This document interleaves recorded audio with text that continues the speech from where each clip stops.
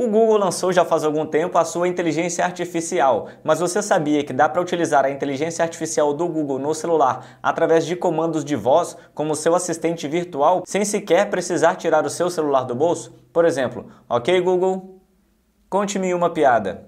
Que tal uma piada rápida? É claro que esse exemplo da piada é apenas um exemplo bobo, mas você consegue pedir para que ele crie conteúdos, por exemplo, para você na internet, edite e-mails, envie e-mails e realize outras funções dentro do seu celular também, integrado com outros aplicativos. Aí você pode se perguntar: poxa, mas eu já tenho um assistente do Google aqui, basta eu dizer o OK Google que ele já vai habilitar aqui no meu celular, eu já consigo fazer muitas coisas. Porém, o Gemini, ele te dá outras opções, como por exemplo, criar conteúdos mesmo, conversar, traduzir conteúdos. A limitação basicamente está apenas na nossa criatividade de como utilizar o Gemini. Então, como que a gente vai habilitar o Gemini como nosso assistente virtual no nosso celular aqui Android? Primeiramente, você vai baixar o aplicativo Gemini. Basta você ir na loja de aplicativos do Google e pesquisar por Gemini. Se você quiser, pode usar o link também que eu vou deixar aqui embaixo na descrição do vídeo. Uma vez que o aplicativo aplicativo está baixado no seu celular, como eu já tenho baixado aqui no meu, agora nós vamos habilitar. Primeiramente, verifique aí se o seu celular está configurado para responder ao comando OK Google, como o meu aqui já está. Para verificar isso, basta você abrir o aplicativo do Google, tá? Não é o Google Chrome navegador, é este aplicativozinho aqui do Google com a letra G.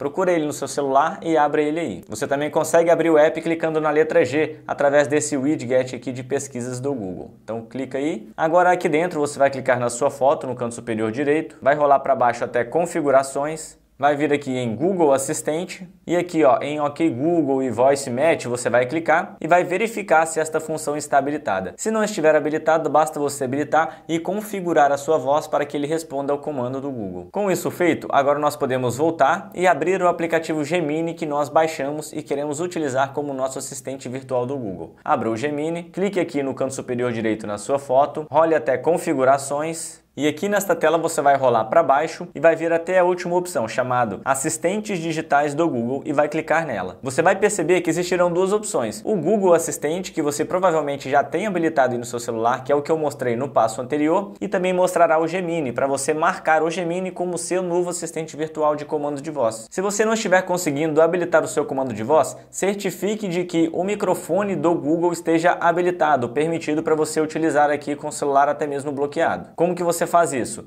Vá nas configurações do seu celular, vai aí na opção de apps ou aplicativos. Você vai gerenciar os aplicativos. Agora pesquise pelo aplicativo do Google. Então você vai abrir aqui o aplicativo Google. Agora você vai clicar em permissões e vai ter certeza de que o microfone para este aplicativo esteja permitido. Se o microfone não estiver permitido, você não consegue utilizar o serviço de comando de voz do Google. Me diz aqui embaixo para quais funções você pretende utilizar a inteligência artificial do Google no seu celular através dos comandos de voz. Se esse vídeo foi legal para você, se você gostou, deixa um like, compartilha com seu amigo e se inscreva no canal para acompanhar mais dicas de tecnologia que vão te ajudar no seu dia a dia, assim como esse vídeo. Até a próxima e valeu!